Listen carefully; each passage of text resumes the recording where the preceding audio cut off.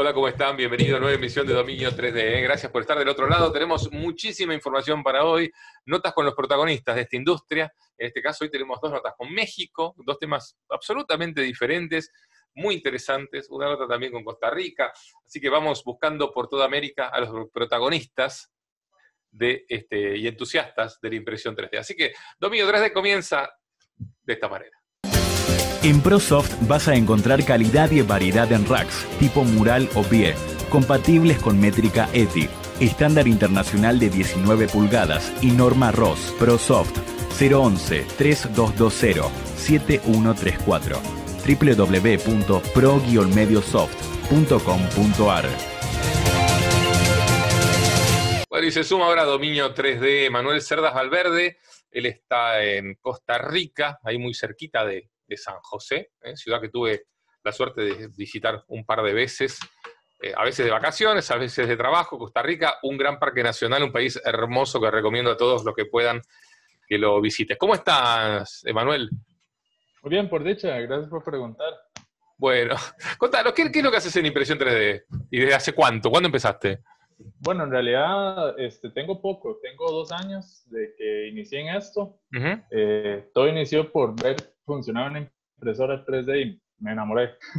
Claro, es lo que nos y pasa. Ya ahí, ahí ya quise empezar un poco más a investigar, un poco más allá y al final de cuentas terminé ya creando lo que son este, figuras de colección, todas, todas impresas en 3D y claro. con material en PLA y Ajá. pintadas a mano. Bien, y, y, básicamente, o sea, acá estoy, estamos viendo algunos de tus trabajos, algunos de tus trabajos, y vemos mucho detalle. Eh, todo eso lo logras con PLA, ¿no? O sea, no es que estás viendo con. ¿Y cuál, cuál, es el secreto de tener figuras con tanto, tan buena definición, tan, tan buen detalle, que quizás este, a la simple vista uno podría pensar que puede ser resina, digo, sobre, sobre, todo lo que tiene que ver con los rostros, ¿no? Claro, claro. ¿Cómo se logra? Sí, no, eh, eh, en lo posible, bueno, primero trato de comprometer un poco el tiempo de impresión para que, ok, de, dure, menos, dure más la impresión y por ende el cabezal este, de, sea más lento y por ende da una mejor definición. Ya después de eso, ya le doy un postproceso de lija, Premier, lija, Premier y ya después ahí trato de, tratar de lo posible quitar que se vea la, la beta de la impresión, ¿verdad? Claro, bien, o sea que la velocidad, como sabemos, este, a, a menor velocidad, ma mayor este, posibilidad de tener mejor definición en muchos casos, ¿no? Co correcto. Así que no hay, no hay, que apurar la impresión. No, eh, en esto, digamos, si te querés acelerar en que salga rápida la pieza, que te quede bien, es imposible. Claro. O sea, una de las dos tenés que... Claro, hay que sacrificar, sacrificar algo. ¿verdad? Es correcto. Bien. ¿Y, ¿Y qué haces con estas piezas después? ¿Las vendés? Sí, yo, yo tengo una página en Facebook, en Instagram, que se llama Mapache Art. Eh, la creé con ese fin, de crear aquellas figuras que, a ver, digamos, hay coleccionistas que vos das por entendido de que tienen todas las posibilidades económicas para comprar, otros sí las tienen, otros no. Entonces la idea mía era generar aquellas figuras, ok, son artesanales, pero tratarle de darle ese equilibrio calidad-precio. Uh -huh. Y que no es nada de envidiarle a aquellas marcas de que venden, ¿verdad? Este, figuras de ya con un nivel de elaboración y detalle superior a, a cualquier otra, ¿verdad?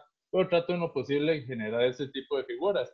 Por ese medio yo las, las vendo y este, he tenido ya muy buenas eh, experiencias con clientes, ya que siempre me dicen, mira, puedes hacer esta figura, y gracias a esta posibilidad de impresión 3D, que no se puede hacer, ¿verdad?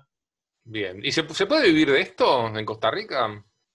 Bueno, yo este, al principio, como te digo, fue difícil, este, de como todo, ¿verdad? Uno se está tratando de posicionar y de todo. De, con esto de la pandemia, de, estamos hablando que era un año de que había empezado. Claro. Y este, ahorita, digamos, como te dije, tengo poco, pero gracias a Dios, de ahí va, eh, me estoy posicionando y, y bueno, como vos te diste cuenta, ya he tenido otros comentarios de otros países, inclusive de nacionalmente también, este, muchos les ha gustado mi trabajo. Uh -huh. ¿Y también te dedicas al modelado o son modelos que compras? No, este, yo por, por el momento, y bueno, me gustaría después, pero por el momento sí, yo son, yo lo que hago es comprar los diseños y lo que sí me he estado especializando es en darle el acabado final, ¿verdad? El postproceso, ¿verdad? Como tal, de la impresión y ya después el postprocesado. Claro. ¿Y vos ya, ya sabías de pintura, de materiales, de técnicas para pintar o empezaste también hace dos años? Es correcto, desde cero. no, es, ah, genial, ver, eh, nosotros acá hacemos muchas notas con muchos entusiastas de, toda América, ¿no?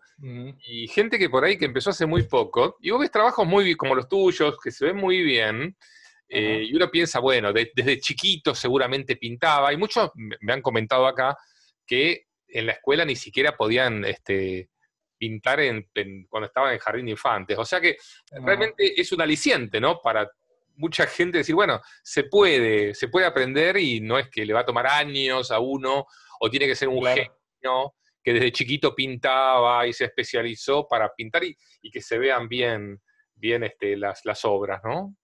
Sí, yo creo que hay más que todo de como hay tanta ahorita, tanta información en YouTube, en Claro, mucho este, tutorial. Eso te ayuda mucho, te ayuda demasiado. Y de, yo al principio decía, no, pues que me va a poner a pintar, este, de yo las voy a ofrecer en crudo, pues de al final de cuentas, este, de uno también termina como volviéndose un poco más allá de un negocio, lo agarra como un hobby y de ve todo el postproceso y más bien uno termina como diciendo, no, mira, voy a dedicarle un poco más de tiempo a esto por aquí y al final de cuentas eh, esas figuras que estás viendo este, son trabajos de hace un par de meses. Eso es relativamente nuevo, lo que le estoy dando así es acabado final. Claro. Supongo que de los primeros a los últimos debes ver una diferencia, que decís, mira, o que te dé un poco de vergüenza, decir, no, este mejor ni lo muestro. fue, fue lo primero que hice y ahora que progresé veo la, veo la diferencia, ¿no? Claro, claro, de, no, esto es todo un proceso de aprendizaje y de uno, claro. dice, nadie, nadie nace aprendido, ¿verdad?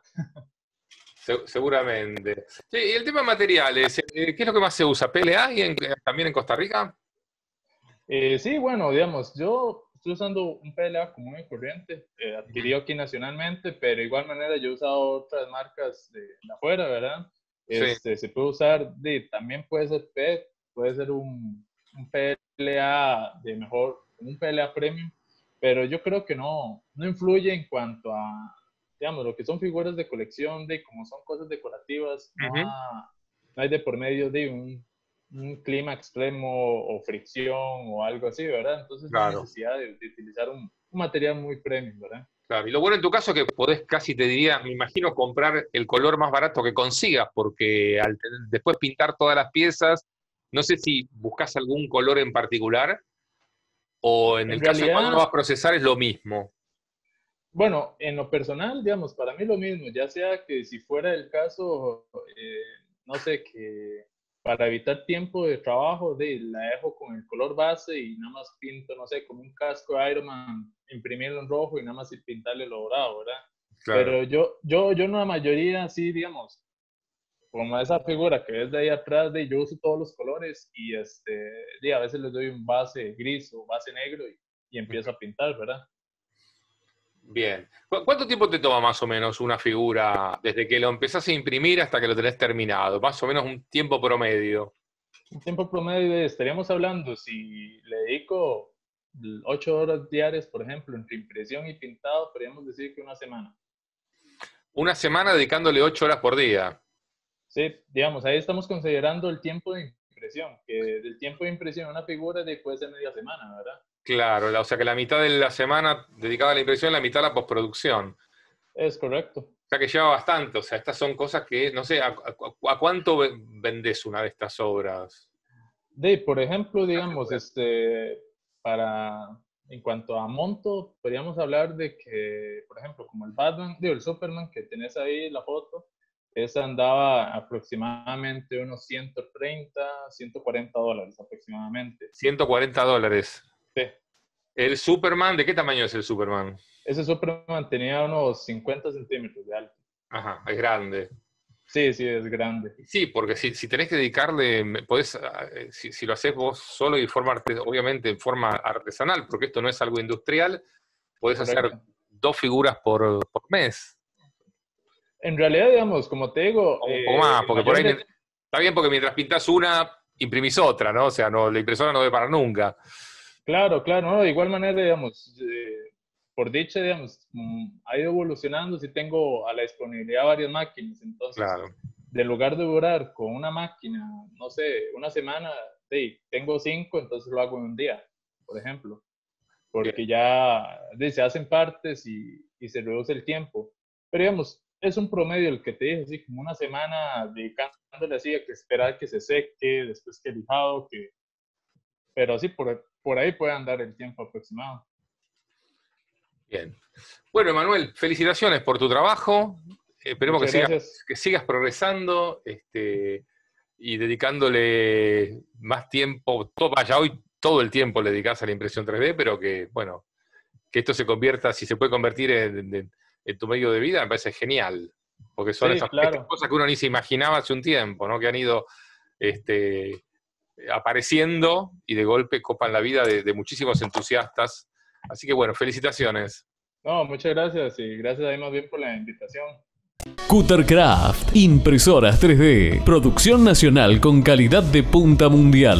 Potencia tu desarrollo. Búscanos en Google. Cuttercraft. Bueno, y seguimos aquí en Dominio 3D.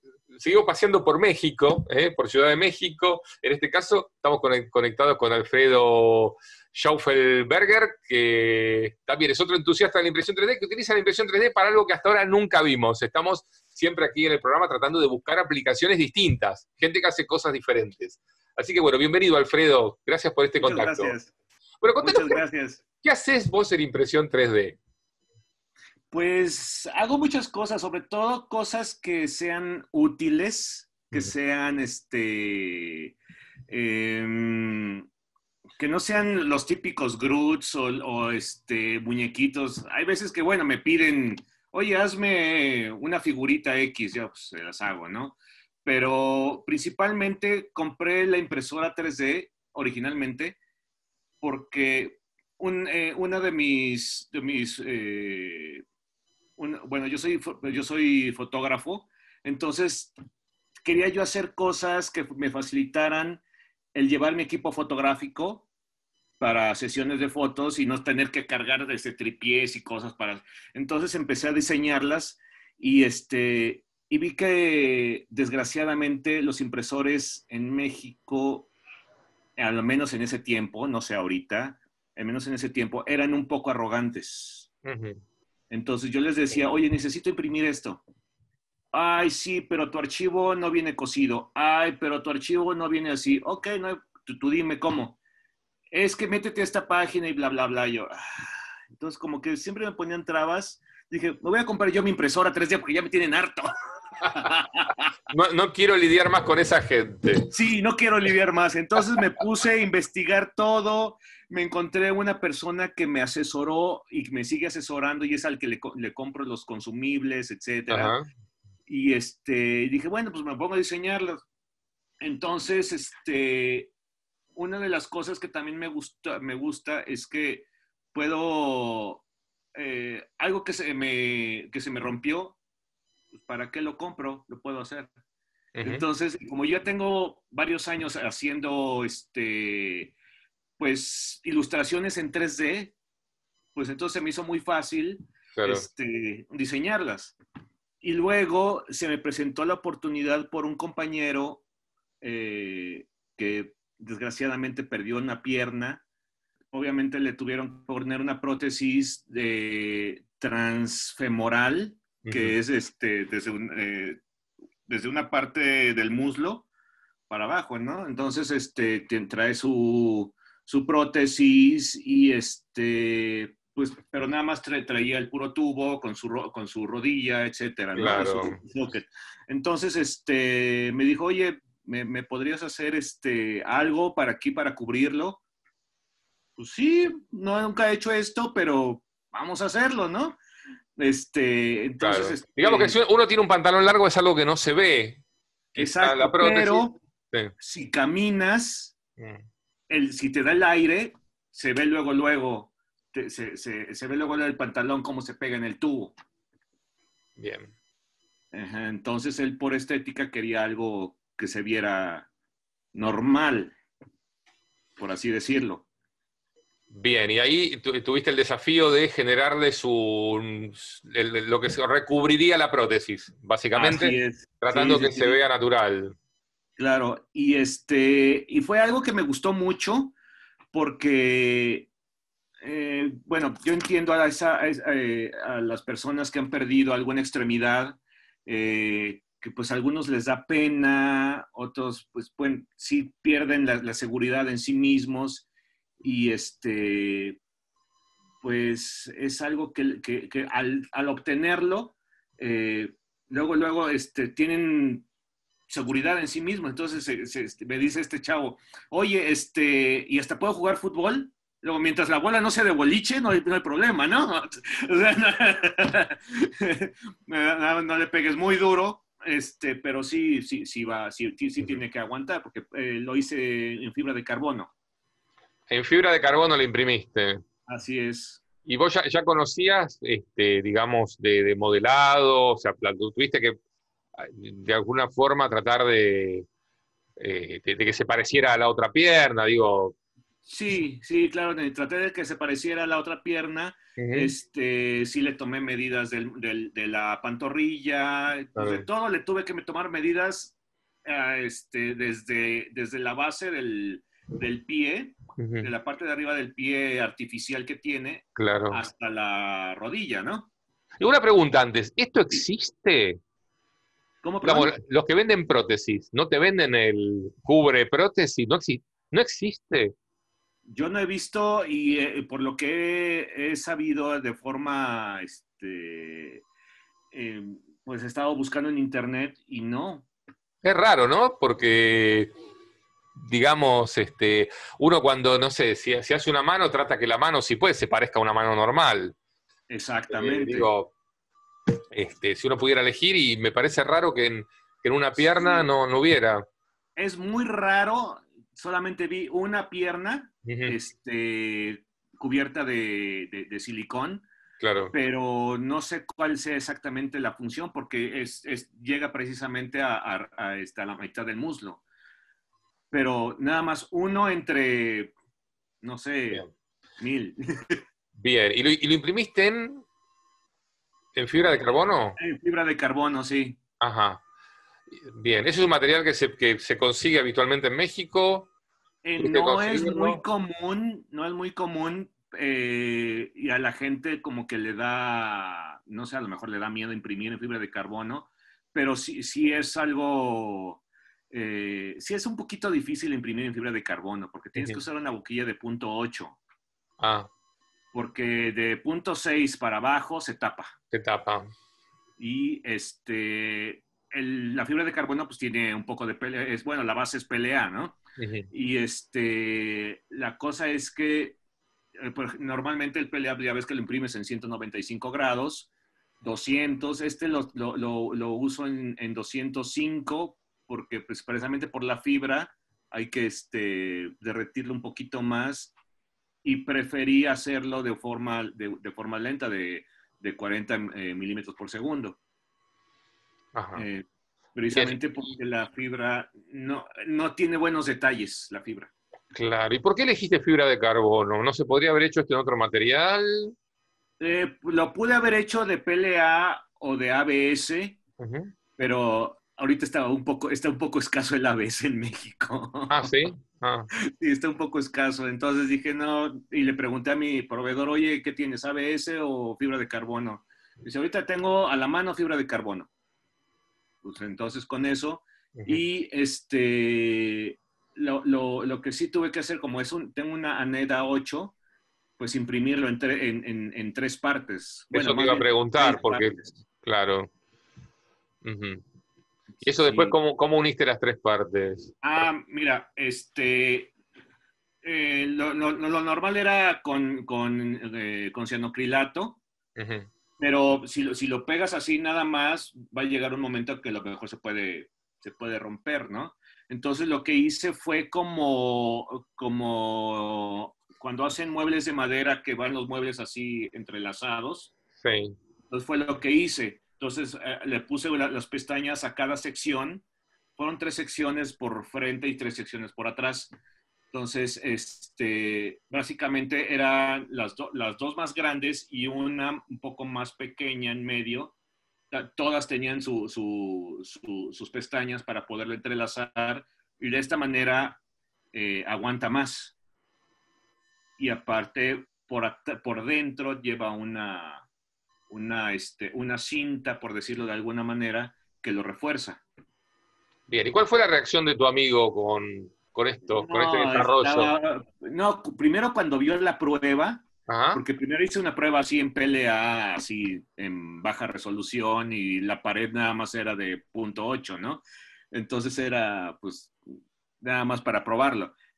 La probé y yo la había hecho demasiado derecha. O sea, era recta totalmente, porque era lo que yo, lo que yo vi en ese momento cuando le tomé las medidas, ¿no? Entonces, dio, dio como resultado que el, el, el, el tubo que, que, sostiene la, la, prótesis este, tiene una cierta inclinación y entonces el, eh, cuando lo, lo, pones con el pie, la, la, cubierta quedaba chueca del pie. Entonces dije, bueno, aquí hay, aquí hay un pequeño problema porque no voy a poder hacerlo como yo lo había pensado hacer. mira, aquí tengo, de hecho, la prueba. Este, esto es lo que va en el tubo. Claro. Entonces entra aquí la, la, la, cubierta, ¿no? Pero está también derecha. Claro. Entonces tenía que resolver ese problema porque a la hora de que, yo puse la, la, bueno, y que ya eh, arreglé la, la, cubierta, que estuviera un poquito chuequita con, con, la, con, la, anatomía de la pantorrilla, ya no entraba bien. ya no entraba bien. Entonces tuve que arreglar todo eso para que otra vez pudiera entrar y, y bueno, sí fue, sí fue, estuvo bastante divertido hacerlo, pero cuando vio la prueba, te estaba fascinado, estaba fascinado. Me dice, oye, ¿y se podrá hacer esto? Porque arriba quedaba muy, muy levantado de la, de la rodilla, quedaba así. Entonces me dice, ¿se podrá hacer un poquito más curvo? Le digo, sí, se puede hacer más curvo y sí, no, no hay problema, ¿no? pero estaba fascinado. De, hecho, dio unos pasos con esa, con esa prueba. Me dice, sí, queda perfecto. Entonces ya fue que después ah, ya arreglé, ya solucioné ese problema y, este, y le llevé la, la, la, cubierta ya arreglada, ya como él la quería. Y sí, quedó perfecto. Quedó perfecto y no, estaba súper emocionado. Sí, sí, sí. Bueno, y a partir de esto, ¿te contactaron otras personas con la misma inquietud? Porque capaz que ya generaste un, encontraste un trabajo, digamos, un nicho interesante.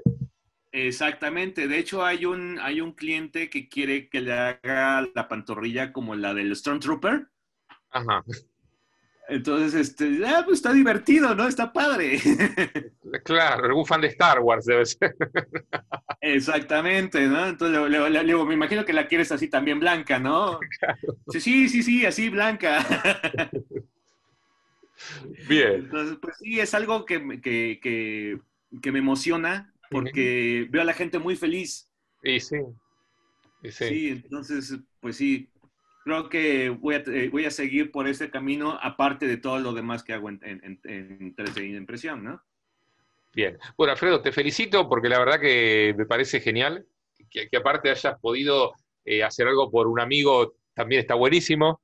Y si eso además te genera una posibilidad laboral y de ayudar a otra gente y de avanzar en esto. Bueno, me parece que ahí este, hay que agradecerle algo más a la impresión 3D, que ya tenemos muchas cosas para agradecerle. Creo que esto es Sí, sí, sí.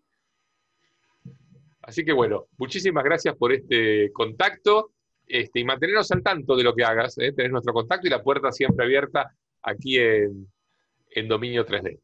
Muchísimas gracias, Claudio. Muchísimas gracias. Grilón 3. Filamentos para impresión 3D de NTH Grilón. Expertos en el rubro plástico desde 1951. Desarrollando desde 2014 la más amplia gama de materiales, colores y texturas para Argentina y el mundo. Seguinos en nuestra web y redes sociales. Grilonizate.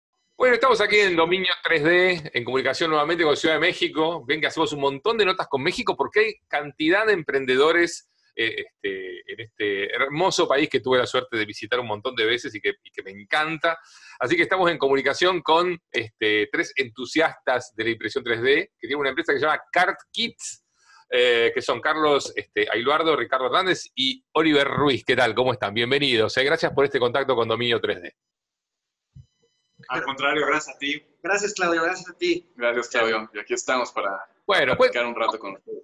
Claro, cuéntenme, ¿qué, es lo que hacen ustedes vinculado al tema este, impresión 3D?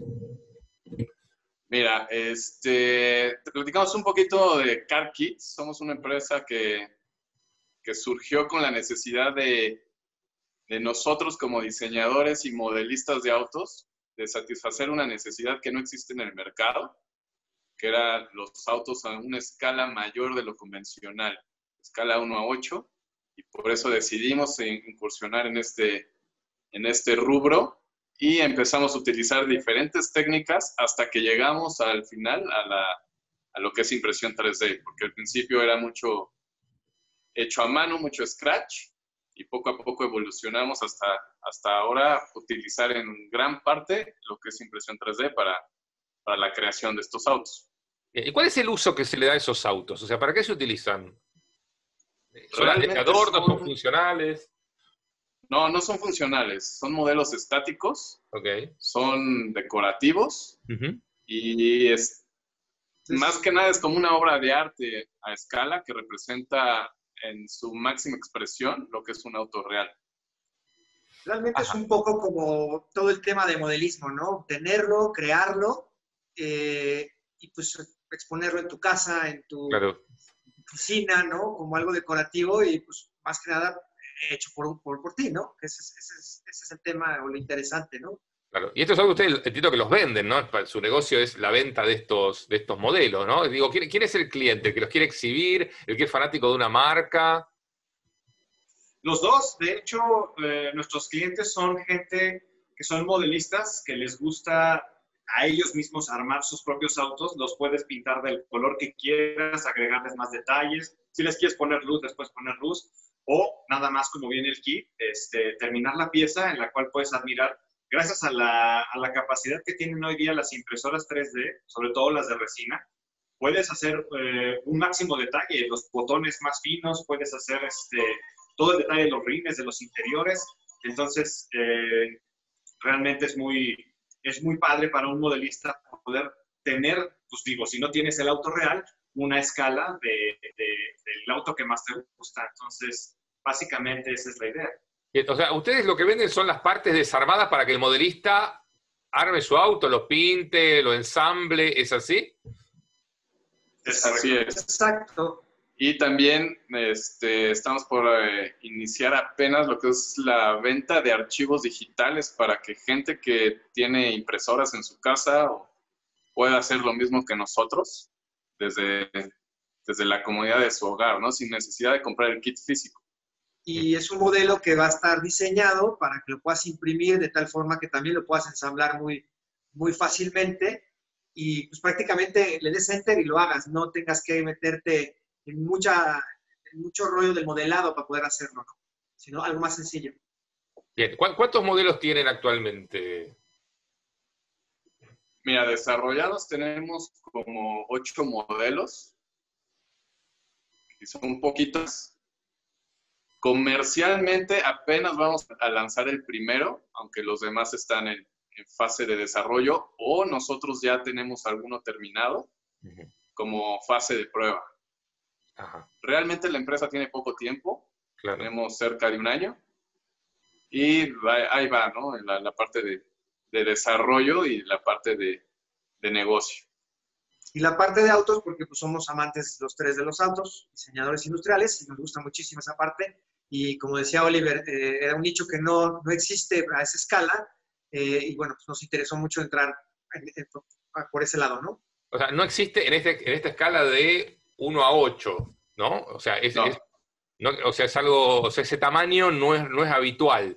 ¿Nos pueden mostrar un poquito el taller de ustedes, algún modelo, algo que nos puedan, nos podemos meter un poquito así en Car Kits para... Sí, claro, claro Sí, por supuesto. Sí. Para husmear un poco.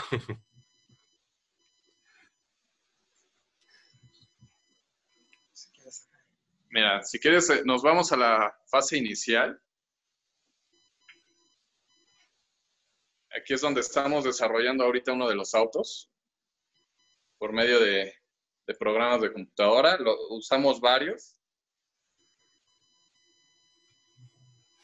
Creo que la luz no nos deja ver muy bien. A ver si por acá. Acá tenemos otro de los autos, ¿no? Entonces hacemos todo el desarrollo con diferentes softwares, entre ellos Blender, Fusion, SolidWorks y Rhino.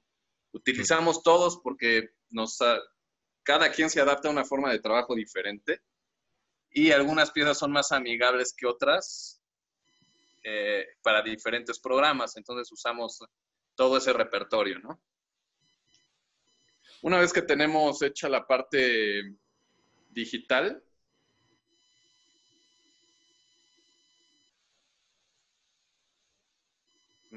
ya me está jugando chueco aquí. Tenemos un área de impresión 3D en resinas. ¿Solo en resina imprimen o en otro material también? Ahorita prácticamente todo lo hacemos en resina. Tenemos también impresoras de filamento, de FDM, pero ya hemos evolucionado. O sea, nuestros primeros autos sí estaban hechos con, con FDM. Ya estamos viendo cómo se está imprimiendo un chasis para uno de los coches que viste ahorita en la, la computadora. Y de este lado también se está imprimiendo, solo que va, acabamos de poner la impresión, entonces va en las primeras capas. Una vez que terminamos de imprimir, más o menos esto es lo que obtenemos, ¿no? Claro. Aquí tenemos unas cuantas piezas en la parte de arriba. En una fase de, de precurado. Nos gusta antes de meterla a un curado final, tenerlas un tiempo en, en la sombra, aunque no se están curando del todo, pero sí están agarrando algo de rigidez para que a la hora de ensamblar imponen realmente bien cada pieza. Y aquí tenemos pues dos máquinas grandes, una es una Phenom normal y la otra es una Noir, que es, de, es una máquina de alta velocidad con un display monocromático. Se imprime casi al doble de la velocidad que la otra impresora. Y tenemos estas dos pequeñas, estas dos Legos, y tenemos otra máquina más que no está aquí, que también es pequeña. Y a la vez también tenemos FDM, ya me moví del área. Tenemos FDM que no tenemos las máquinas en, este lugar. Perdón, me, voy a mover porque hay mucha luz. No, se, ve, se, ve, se ve muy bien. ¿Sí? Sí, sí. ¿Y con FDM hacen alguna parte del auto? las ruedas, digo, alguna cosa, o, todo apuntan a la, a la, resina? No, ahorita todo va sobre resina. Antes sí usábamos FDM, de hecho tenemos siete máquinas de FDM en otro, en otro lugar, que la, y las usamos para otro tipo de, de piezas, para un negocio alterno, que no tiene nada que ver con este. Entonces, en la impresión 3D ya llevamos unos cuatro años haciendo piezas. Y eh, para el área de autos llevamos un año más o menos y con impresión con tecnología de resina, ah, como unos tres, cuatro meses fuerte. Bien. uno diría que, este, que hacer esto en resina debe ser bastante costoso. ¿Cuál es el precio de venta de estos, de estos kits? Un kit cuesta entre 900 y 1000 dólares, más o menos. Ah, 1000 dólares, caramba no pues. es un producto barato, pero a la vez es un producto exclusivo para, este nicho, ¿no? Claro. ¿Y ya lo están comercializando o están en este momento preparando la, digamos, la producción? No, ahorita se está preparando la parte de producción. De hecho, estamos eh, como en un par de semanas sale la primera campaña por Kickstarter. Ajá. Para el primer modelo, que es un es un auto que hemos publicitado mucho en las redes y de hecho creo que fue el que tú llegaste a ver en alguno de los grupos. Claro. ¿Y la campaña de Kickstarter a qué apunta? ¿Qué, es lo que quieren conseguir? Lo que, lo que buscamos es eh, solventar gastos operativos para el desarrollo de, nuevos autos, ¿no? Este, buscamos que sea un mínimo porque nos interesa que, a partir de cierta cantidad de eh, vendida sea factible el negocio. Si no, no es tan rentable para nosotros. Claro, ahí veo que tiene mucho detalle, o sea, realmente es muy, muy lindo, o sea, es, un trabajo muy, muy minucioso, ¿no? Con, de muchísima precisión. Claro, mira que es ese tablero. Así es. Esto que estás viendo ya es una fase de preensamble. Nosotros para validar y a la vez usar el producto de promoción para lo que son los kits y los archivos digitales. El cliente no recibe este tipo de producto. El cliente lo que recibe son piezas crudas. Claro. Sin pintar. Ajá, ok. Claro, ahí está el trabajo justamente del jovista, ¿no? Que se ocupe de... Así es que se ocupe de hacerlo. ¿Y la idea de ustedes es, exportar después estos productos o manejarlos a nivel de México únicamente? No, la idea es, eh, exportación. Sí, ¿cómo se maneja el... Sí, me decía. ¿Dónde? iba a preguntar cómo es el tema, porque, digamos, de los derechos, porque uno dice, bueno, a ver, son autos que existen, ¿no? Digo, a un Ferrari, por ejemplo. Digo, ¿hay que pagarle a Ferrari para usar sus modelos y venderlos? Mira, son modelos basados en autos existentes, más no los pretendemos ofrecer bajo las marcas, ni con logotipos, ni nada de las marcas reales. Claro. Y bueno, también buscamos tener un, número limitado de producción. No nos interesa por el momento vender grandes cantidades, sino un, un cierto número limitado de varios modelos.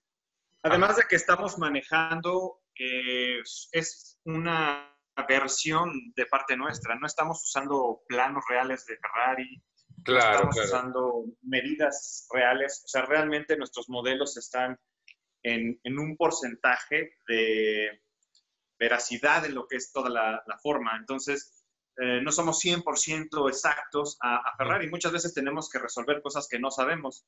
A qué distancia va el caliper, eh, la profundidad del rim, de la llanta, todo eso. Entonces, este, básicamente hacemos representaciones artísticas de los autos reales sin manejar sus nombres. Obviamente la gente se puede dar cuenta de que se parece a un Ferrari y por esa razón pueden obtener, ellos ya pueden manejar a lo mejor el logotipo, le pueden poner la estampa, pero por el momento son piezas artísticas.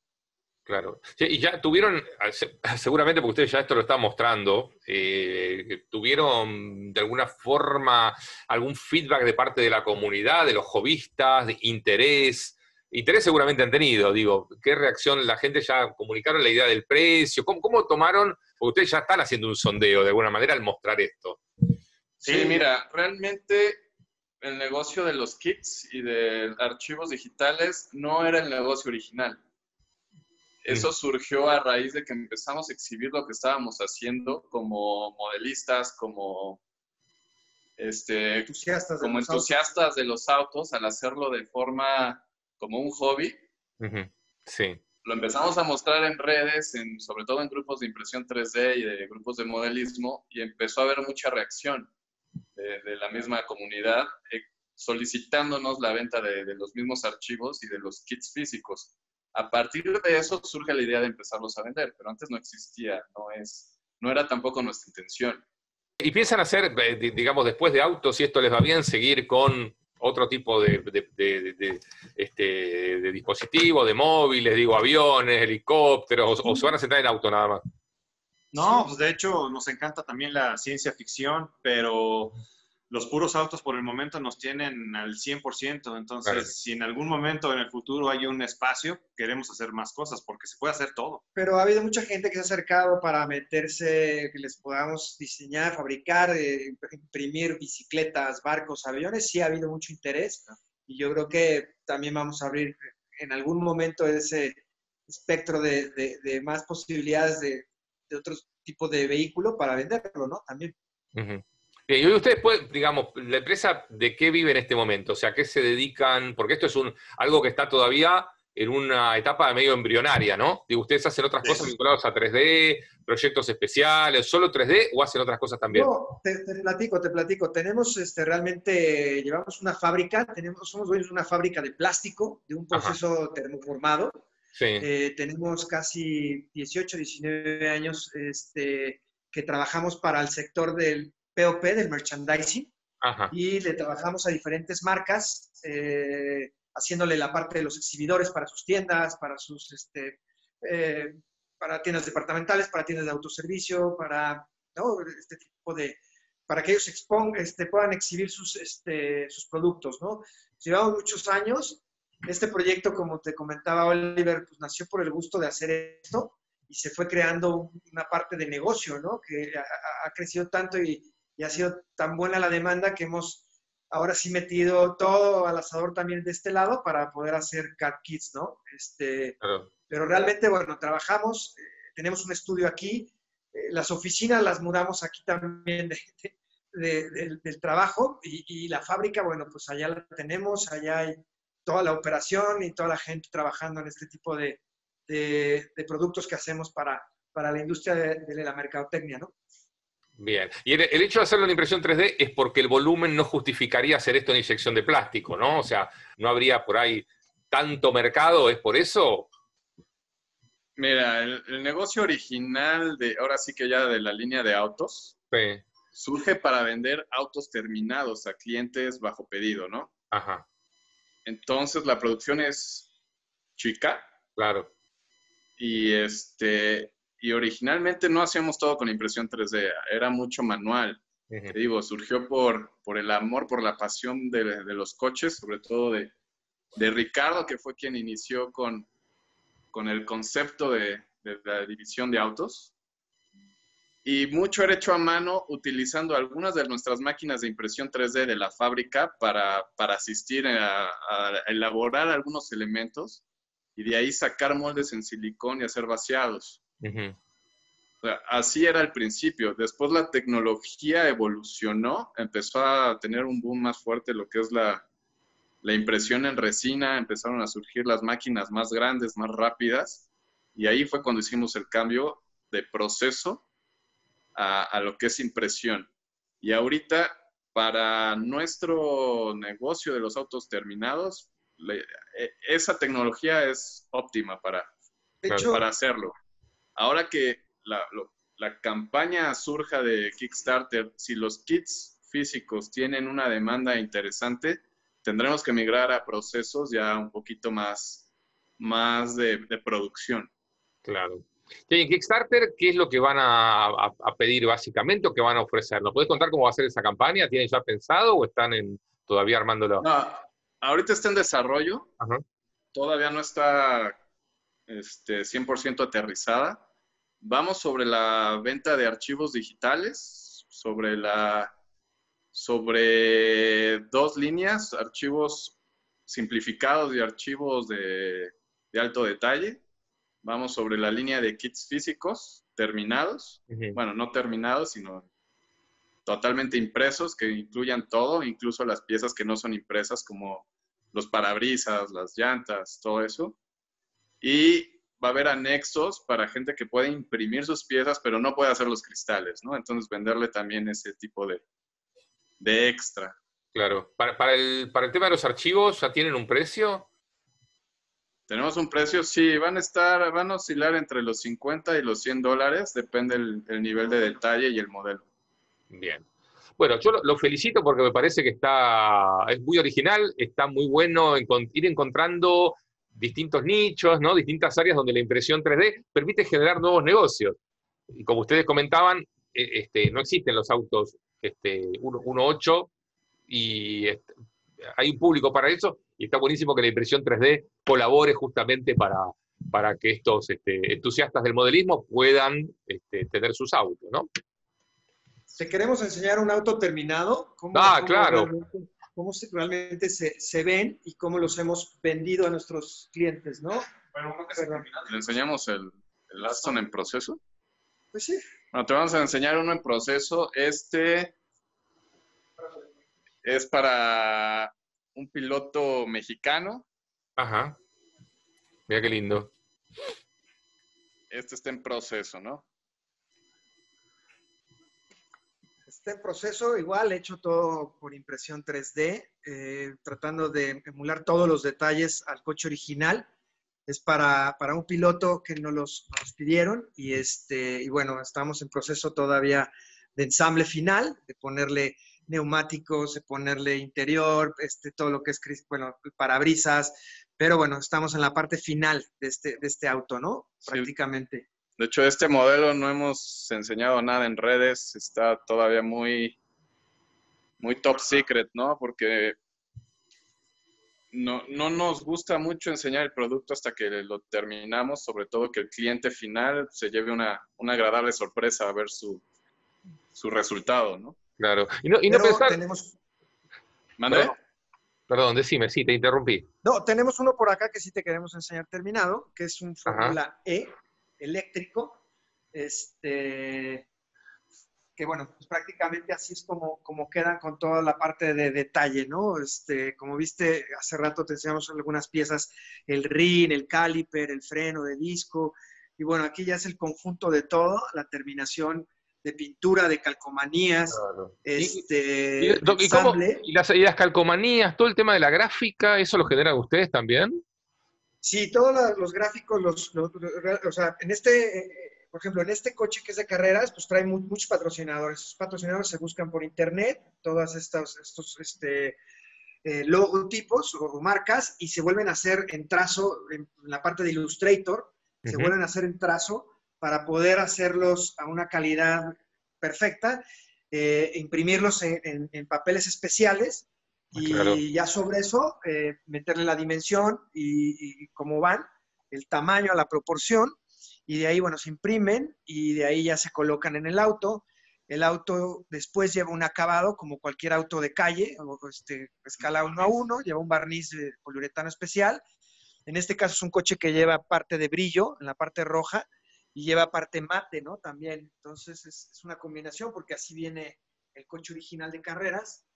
Y este, es espectacular, los detalles son increíbles. Gracias, gracias. Este también se hizo para, para una marca de autos muy importante. Y, este, y hay, hay, hay, marcas de autos muy importantes que se nos han acercado y nos han pedido también hacerles producto final para, para la agencia, para algún evento, para este, pues, para un demo y, un poco eso es lo que, lo que también estamos haciendo, como te comenta Oliver, de no, les pidieron un auto más grande? Sino, ¿no, ¿No lo pueden hacer en tamaño real? Mira, este para crear la proporción es 1 a 8, ¿no? O sea, bueno, es este tamaño que son casi 60 centímetros. Pero realmente con estos archivos digitales podrías imprimir un auto real, ¿eh? del tamaño que quieras pero este, pues es, este es el tamaño realmente, ¿no? esta, es una escala muy vistosa para, para tener una pieza de, de arte. Eh, la verdad es que hay gente que colecciona autos de verdad y pues definitivamente les gustaría tener su auto o su auto favorito. En esta escala se, se luce más como una pieza de arte que como un juguete, porque pues sí hay un montón de autos ahí en venta, pero normalmente son escala 1 a 24, 1 a 12, 1 a 18 eh, um, escala 1.8 realmente casi no hay. Y hay empresas que los dan más caros que nosotros, entonces creo que somos buenas competencias. Este es otro, este es un Ferrari, eh, también para otro piloto mexicano, este, que también estamos ya por entregarlo. Eh, es de una categoría que se llama Ferrari Challenge es un Ferrari Italia y también está hecho pues, bajo todo el parámetro de detalle, ¿no? El interior, los rines, el color, las calcomanías, todo, ¿no? Bien, excelente. La verdad que hermosísimo el, trabajo de ustedes. Este, los autos se ven increíbles. Creo que si uno los viera, viera una foto, quizás no podría, no podría distinguir si es un auto real o un modelo escala. Sí, de hecho, sí. trabajamos con fotógrafos dedicados a, esta industria de los automóviles y las fotos de nuestros coches no distingue si es de calle, o sea, si es un coche que está en la calle o es un coche de... Sí, bien fotografiado ¿eh? parece, de verdad. Bien. Bueno, Carlos Ricardo Oliver, muchísimas gracias por este contacto con Dominio 3D, por mostrarnos este, el lugar donde ustedes trabajan, que creo que es inspirador para todos los que quieren este, hacer algo en, impresión 3D en distintos lugares de América, que es donde se ve Dominio 3D. Así que muchísimas gracias por este contacto y manténganos al tanto ¿eh? de, próximos trabajos, cuando sigan creando este, y desarrollando esta industria del 3D, nos va a encantar hacerles nuevamente alguna entrevista. ¿Querés alojar tu página web, potenciar tu negocio, crear un sitio de forma simple y profesional? En Latin Cloud tenemos las mejores opciones para vos. Latin Cloud. Entra en latincloud.com y entérate. Latin Cloud. Conectamos Latinoamérica. Bueno, gracias por habernos acompañado. ¿eh? estamos empezando en un ratito la emisión habitual de Dominio Digital, así que quédense con nosotros. Eh, este programa que venimos haciendo ya hace muchísimos años y que comienza en 10 minutitos nada más. Gracias por ser parte de Dominio 3D y nos encontramos en un ratito o en 7 días. Chao.